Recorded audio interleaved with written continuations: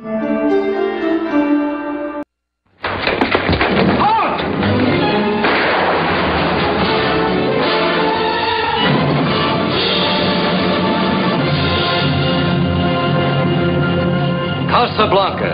city of hope and despair, located in French Morocco in North Africa. The meeting place of adventurers, fugitives, criminals, refugees lured into this danger swept oasis by the hope of escape to the Americas. But they're all trapped, for there is no escape. Against this fascinating background is woven the story of an imperishable love and the enthralling saga of six desperate people, each in Casablanca to keep an appointment with destiny. I was willing to shoot Captain Renault, and I'm willing to shoot you. All right, Major, you asked for it.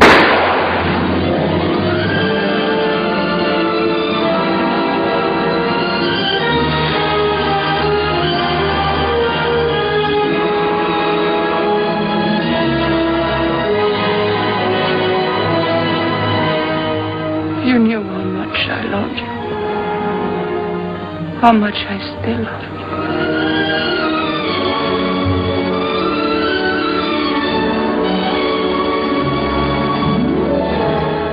I know a good deal more about you than you suspect. I know, for instance, that you're in love with a woman. It's perhaps a strange circumstance that we both should love the same woman.